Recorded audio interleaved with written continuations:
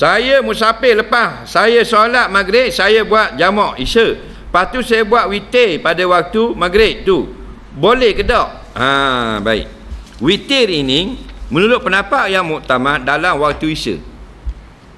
Bila kita semayang jamak takdim, kita semayang isya dalam waktu maghrib. Adakah boleh kita semayang witir lepas semayang isya?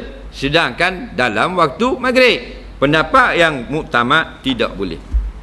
Faham lagi? Kerana dia di dalam waktu isya. Nah. Ha.